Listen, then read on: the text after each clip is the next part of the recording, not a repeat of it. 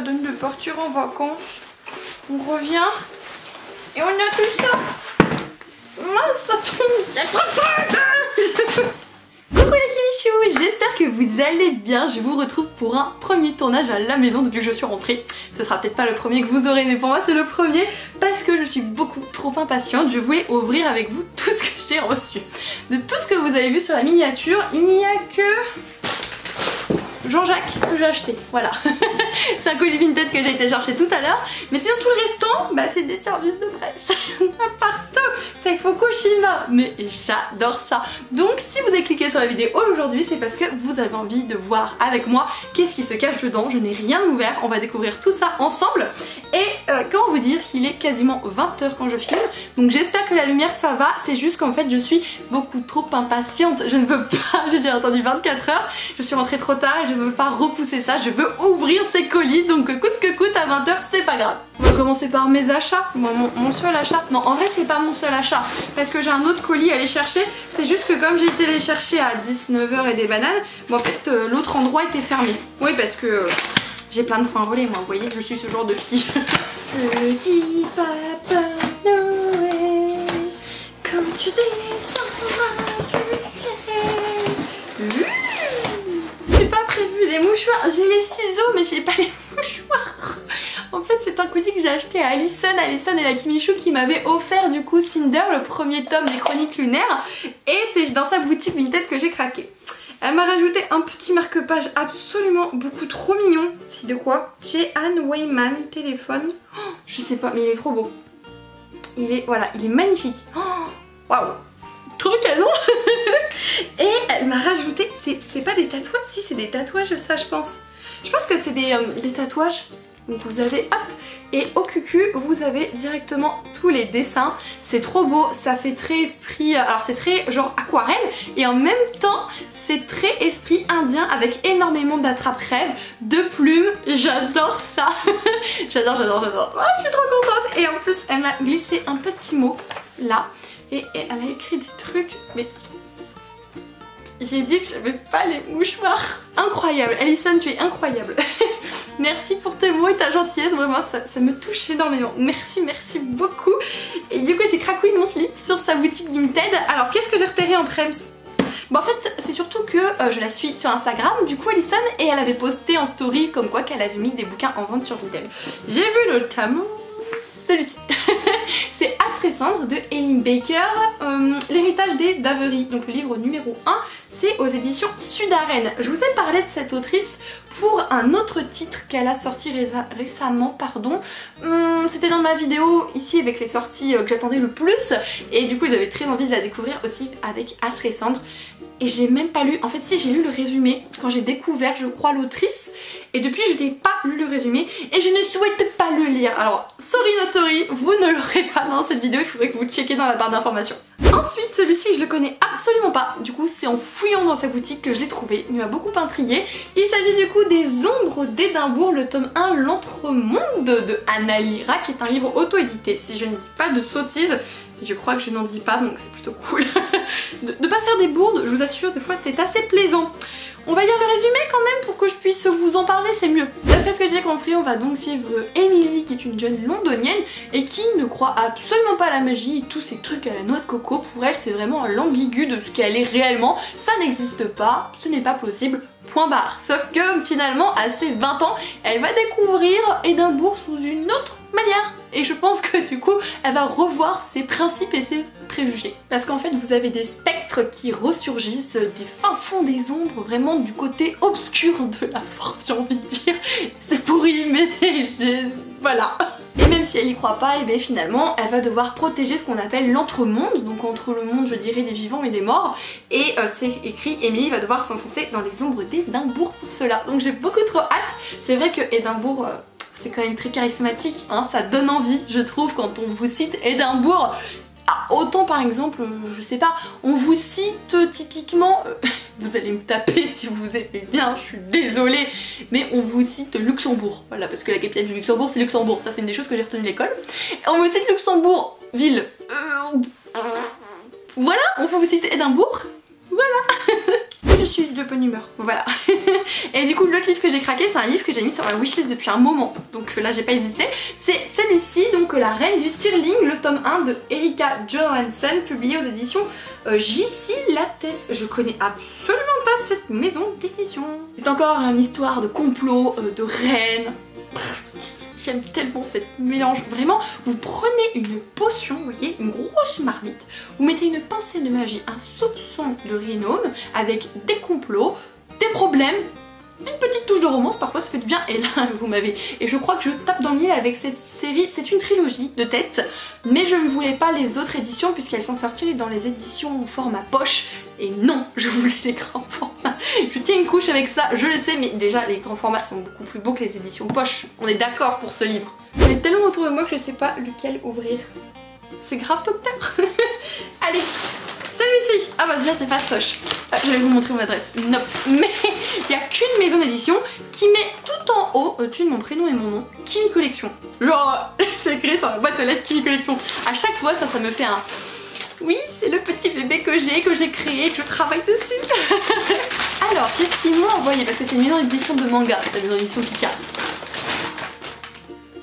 Qu'est-ce que ça J'ai rien vu, monsieur, madame oui, c'est une des nouveautés parce que en fait la maison d'édition Pika regroupe aussi d'autres maisons d'édition comme Nobidomi et H2T et du coup là c'est une parution de la maison d'édition H2T, c'est Magnum Opus de Heitor Amatsu. C'est super sympa parce qu'avec la maison d'édition Pika vous avez directement un petit prospectus et là vous avez le résumé du résumé et je trouve ça super intéressant. Il y a écrit suivez Magnum, enfant des rues et Platina, fille d'un important personnage dans leurs dangereuses aventures sur les traces de la pierre philosophale, actions et émotions seront rendez-vous pierre philosophale quoi.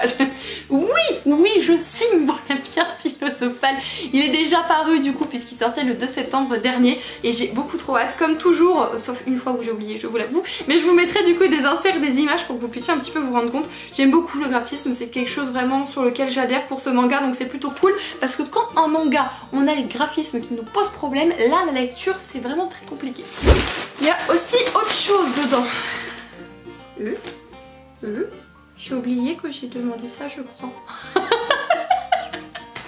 je vous jure, je, savais pas que j'ai demandé ça. Et j'ai un autre truc dedans. Qu'est-ce que c'est? Ah d'accord, donc pour la sortir de Magnus Opus, là celui-là que je viens de vous montrer, Opus pardon, Magnum Opus, moi je fais un, oh, un schmilblick. Il y avait du coup cette petite affiche. Donc je pense que ce sont les personnages principaux de l'histoire, je ne sais pas exactement. Mais c'est plutôt sympa. Mais je crois que du coup que de tête, euh, j'avais demandé le tome 2 dans l'optique de m'acheter le tome 1. Voilà, donc il y a écrit que c'est des thèmes fantastiques, romance et lycée. Vous doutez bien que je ne peux pas vous lire le résumé sans me spoiler moi-même, donc on va éviter, mais euh, je sais pas, vampire, de toute façon tout ce qui est vampire ça m'intrigue de ouf. Oh les graphismes ils sont trop beaux Ouais, ça, ça j'adore. J'aime beaucoup trop. J'aime beaucoup trop. Ouh, y aurait-il des scènes cocasses là-dedans? Tiens donc. Nous verrons ça suite au prochain épisode. Donc un grand merci à la maison d'édition Pika du coup pour ses envois. Il y en a tellement partout, c'est un truc de ouf. On continue du coup avec la maison d'édition Oh, je crois savoir ce que c'est, Casterman. Je suis sûre que vous l'avez déjà vu passer pardon, pas mal de fois sur vos comptes Instagram préférés. Et j'ai fait partie des heureuses élites qui ont reçu du coup la petite box. Yes, c'est bien ça, trop contente nous avons reçu une box spéciale pour une des plus grosses parutions de la maison d'édition Casterman, donc c'est l'année de grâce de Kim Lidget. Alors, tout d'abord, son prénom c'est Kim. Je sens que ça va être grandiose. Oui, non, mais rien que ça.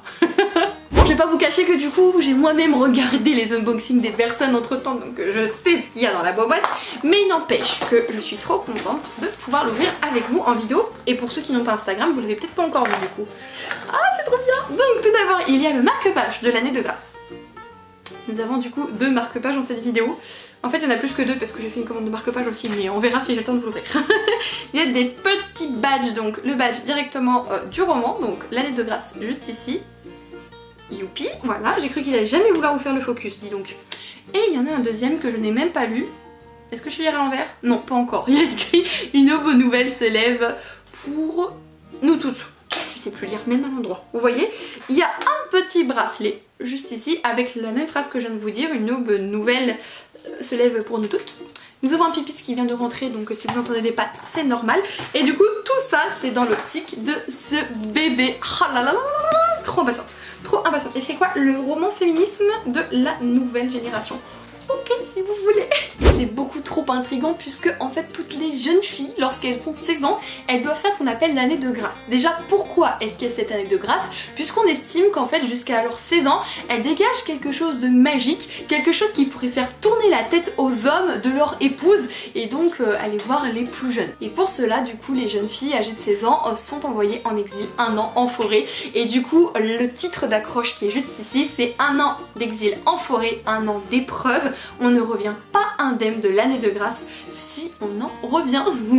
Oui, moi je veux trop le lire. Donc je l'ai pas mis dans la pile du Pumpkin Ocean Challenge parce que j'ai oublié qu'il arrivait. Mais, mais il va parfaitement s'incorporer, c'est sûr et certain. Je suis trop excitée. Donc en termes de date, le 7 octobre, j'ai cru que c'était pas écrit. C'est du coup le 7 octobre que vous pourrez retrouver ce petit bébé. Franchement, hein, je, sais que je me serais ruinée et jetée dessus telle une grosse gourmandise sous mon nez, vous voyez, si je l'avais pas reçu. Donc je suis sûre que vous êtes nombreux aussi à avoir envie de craquer et, je pense à raison. J'essaie de vous en reparler le plus vite possible. J'ai l'impression que la lumière c'est pas ouf. J'espère que ça va pour vous quand même, que c'est pas trop désagréable. Mais je pouvais pas me retenir. Je pense que vous voyez un peu mon état d'excitation. On continue une petite pochette. Donc, j'ai pas d'indice sur la maison d'édition.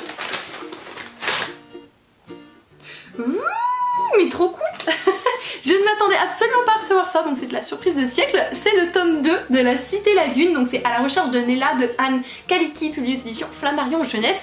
J'avais reçu le tome 1 il y a un petit moment de ça déjà il est juste ici, voilà le tome 1 et je vous l'avais déjà chroniqué sur la chaîne. Donc là j'ai les deux c'est beaucoup trop cool.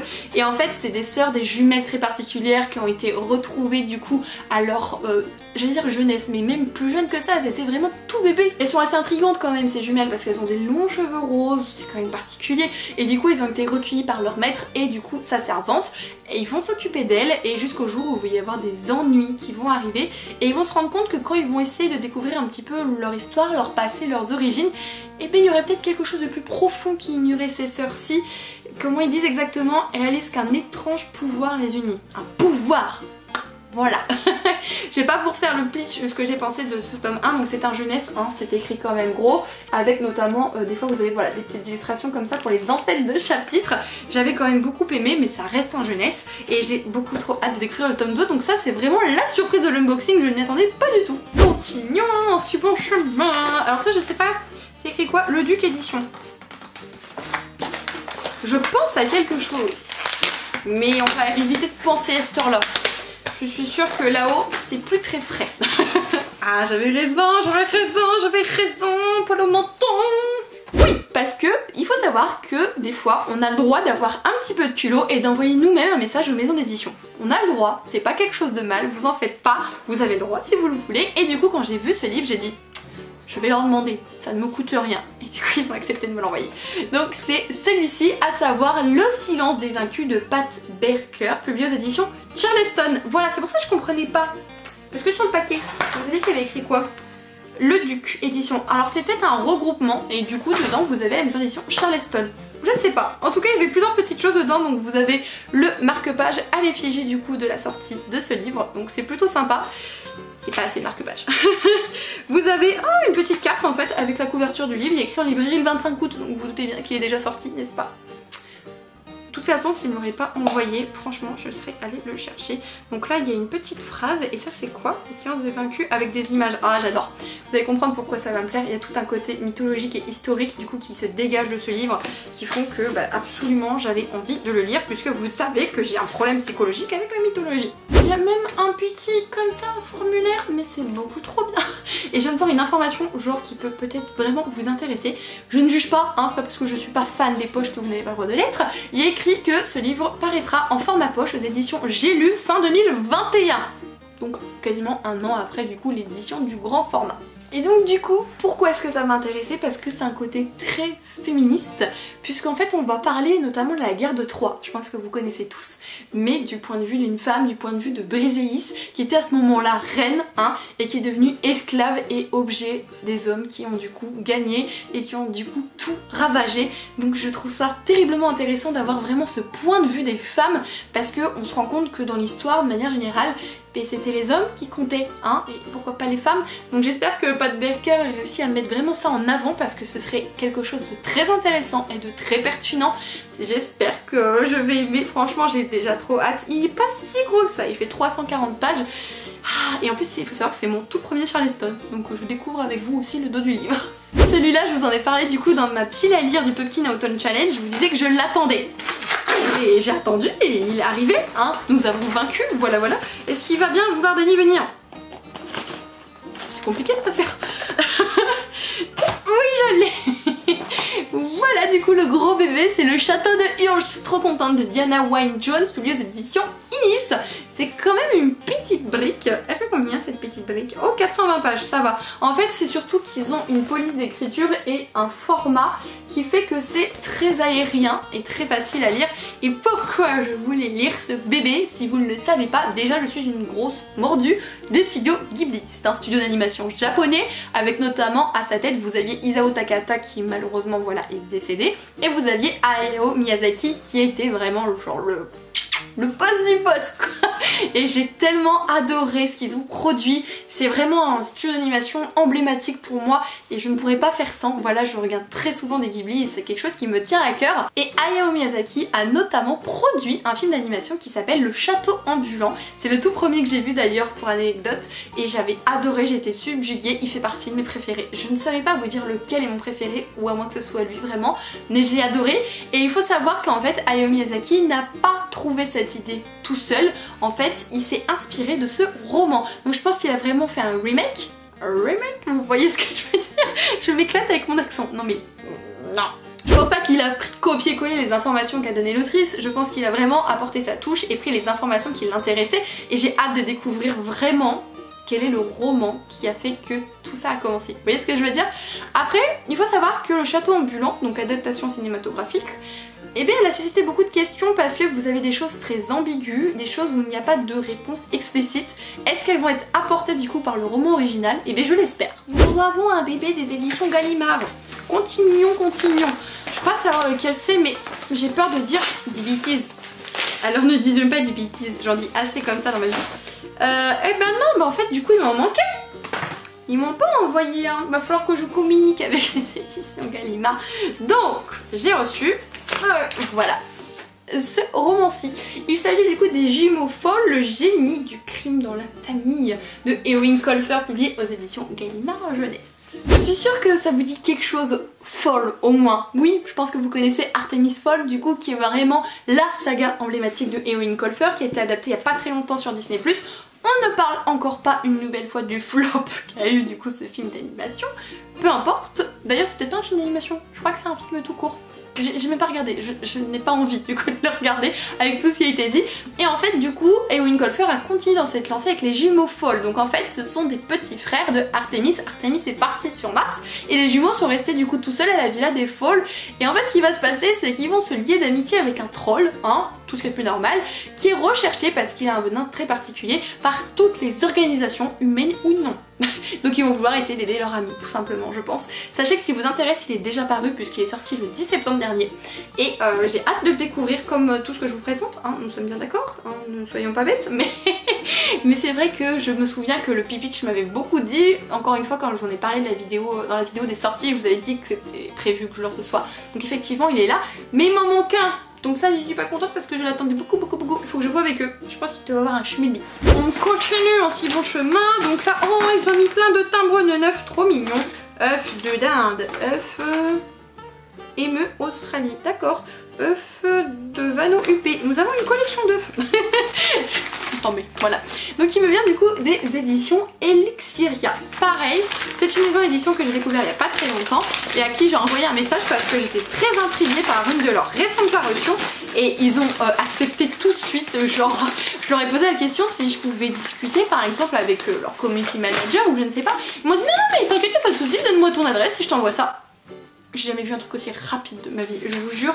C'était incroyable mais vrai. Mais il y a plein de trucs, mais qu'est-ce qu'ils m'ont glissé là-dedans? En fait j'ai eu plein de petits flyers, on a l'impression que je reviens de souterrain, mais j'ai eu plein de petits flyers avec tout ce qu'ils proposent, que ce soit de la dystopie, euh, du recueil, il y a des thrillers, morsures, oh c'est un ça.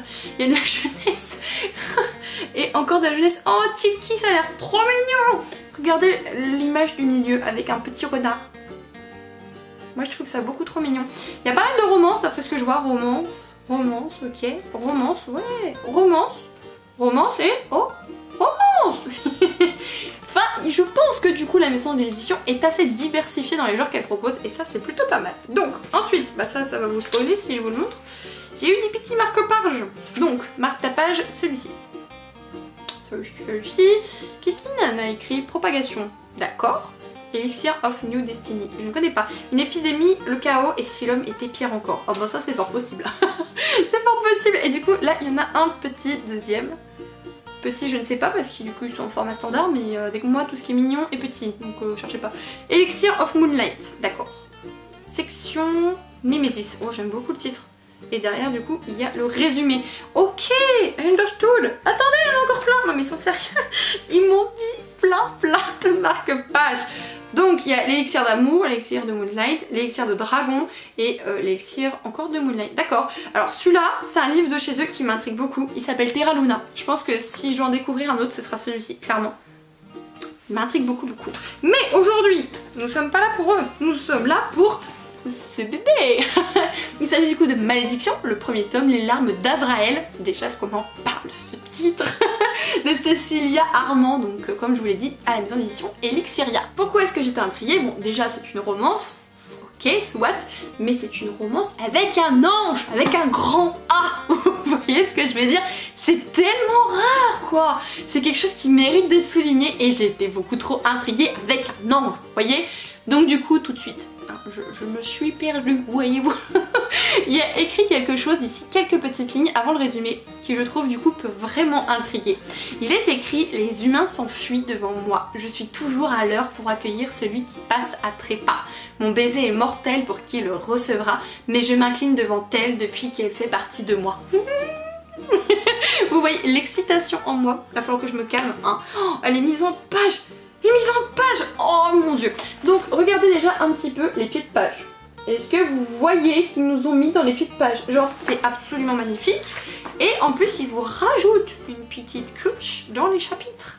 Puisque vous en avez également du coup au-dessus pour faire l'entête de chapitre. Alors là je vois pas si vous voyez, donc euh, on va dire que vous voyez. Je viens de me faire couper la chic parce que ça fait plus d'une demi-heure que je tourne. Désolée Mais du coup voilà, je, je suis très intriguée, il est magnifique. Je remercie beaucoup la maison d'édition pour ce cette première confiance pardon, dont ils me font preuve et euh, je suis très très intriguée, je pense que vous l'avez vu. De vous à moi, il y a un autre truc qui m'intrigue beaucoup. C'est cette chose. Vous voyez le logo là du Amazon? Je n'ai rien commandé J'ai pas de cadeau prévu de ma famille, hein Donc je sais pas Je ne sais pas. Est-ce que nous avons encore un Père Noël dans le coin? Nous allons voir ça. Oh Je crois que je sais ce que c'est. Oh Qui c'est qui m'a fait ça oh, Non, c'est un cadeau d'un Kimichou Moi d'une, si ma mémoire est bonne, c'est bien ce que je pense, j'allais discuter avec l'une d'entre vous sur Instagram, ça se trouve c'est ça. Mais oui, c'est ça Oh mais non, t'es trop mignonne Voilà J'ai discuté avec l'une d'entre vous sur Instagram de Jennifer L. Armentrout. Je fais l'accent comme Livre-moi Addict me l'a pris. Voilà et, j'étais très intriguée par cette autrice et euh, notamment cette Kimichou me disait que elle, me conseillait surtout de découvrir avec la saga Lux, mais moi j'étais très intriguée du coup par Covenant. Donc, elle a décidé de m'offrir le premier tome du coup de Covenant de, euh, bah je viens de le dire, Jennifer Ellerman Trott, ok, publié aux éditions, j'ai lu. J'avais tellement envie de la découvrir quoi, je, je, suis impatiente. Je suis beaucoup trop impatiente. Je crois que je vais perdre mes yeux dans cette bataille, parce que c'est écrit tout petit, mais ça c'est pas grave. Mais je suis trop intriguée, mais genre Merci beaucoup. Fallait pas, je garde tes sous, hein Voilà, parce que en fait, je ne sais pas si vous le savez, je mets à chaque fois que ce soit dans toutes mes vidéos sur Instagram, il y a un lien de ma wishlist Amazon. Parce que ça m'aide à voir un petit peu mes, priorités. Vous voyez? Ça m'aide beaucoup et ça aide aussi mes proches quand ils veulent faire des cadeaux. Donc euh, je leur facilite un peu le travail parce que c'est compliqué de m'acheter des livres avec tout ce que j'ai ou ce que je reçois ou que je m'achète, vous comprenez bien, et du coup ça les aide, et bah, si je peux les aider, pourquoi pas, hein, très clairement, et, du coup il y a une autre vous qui a profité pour me faire ce craquage, alors merci infiniment, c'est tellement gentil, je, suis beaucoup trop touchée, et ton mot, il est où? Il est où? Il est là, il va finir sur mon tableau avec le mot d'Alison aussi. Et je vous propose de terminer très brièvement avec une de mes commandes, ce sont des commandes de marque-page, il faut savoir que depuis que j'ai découvert les marque-pages aimantés, je ne jure que par ça, c'est tellement pratique, et j'ai découvert du coup cette personne sur Instagram, donc je vous mettrai tout dans la barre d'informations avec son site, son lien, tout, ils sont trop mignons ces marque-pages, ils sont aimantés, hein. Donc euh, j'ai craqué pour le petit Stitch avec Souillon. Oh regardez-moi cette boubouille. Oh, beaucoup, beaucoup, beaucoup, trop, trop mignon. J'en ai pris d'Harry Potter aussi. Hein, voilà, on se refait pas. Vous avez du coup Ron et Hermione et euh, Harry avec chacun leur petit animal. Mignon Beaucoup trop mignon Alors ça je pouvais pas, hein. Donc euh, du coup vous avez Dumbledore et Fume Sec. Comment voulez-vous que je laisse ça sur la boutique? Impossible. Et j'ai pris deux princesses Disney. Donc Vaiana avec Poua. Vaiana est une de mes dernières révélations chez Disney. C'était vraiment une des nouveautés qui m'a le plus touchée, bouleversée, adorée. Et ça c'est de mon enfance, voilà. J'ai du coup pris Mulan avec Mouchou. J'adore sa tenue, j'adore les couleurs. Je suis absolument beaucoup trop fan, donc je vous mettrai tous les liens en barre d'informations si ça vous intéresse. Et, j'ai cru voir que euh, la créatrice m'a envoyé un message parce que vous êtes beaucoup à avoir craqué quand je vous en ai parlé en story. Et je crois qu'elle me propose du coup de m'en envoyer gratuitement de ses nouvelles collections juste à cause de tous vos achats. C'est incroyable. Vous voyez ce que je veux dire? C'est incroyable. je m'attendais absolument pas à ça, que ce soit tous vos craquages de slip, hein, parce qu'elle m'a dit qu'elle a eu d'un coup, c'est une euh, créatrice espagnole, je vous l'ai pas dit, elle m'a dit d'un coup j'ai eu beaucoup de commandes de la France. c'est pas moi Donc du coup grâce à vous j'ai peut-être du coup un nouveau partenariat, une nouvelle collaboration. Donc euh, merci beaucoup hein. C'est vraiment grâce à vous si j'ai de telles opportunités. Et je m'en cache pas, voilà je vous en fais pas parce que c'est la des choses que je puisse faire. Et bien voilà les kibichous, on en est venu à bout, sachez que mes jambes sont mortes parce que si vous ne le savez pas je suis assise par terre. Donc les jambes j'ai des fourmis de partout très désagréable. Mais je m'en fiche j'aime beaucoup ce cadre là donc euh, j'espère que cette vidéo vous aura plu.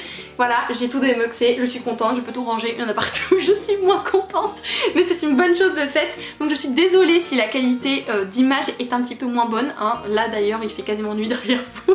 Mais je pouvais pas attendre d'ouvrir ça. Et si vous vous posez la question non, je n'ai pas d'éclairage, ça fait partie de mes prochains achats avec un micro, puisque depuis peu, depuis que vous êtes arrivés en masse, j'ai ce qu'on appelle des revenus YouTube qui apparaissent sur mon compte bancaire.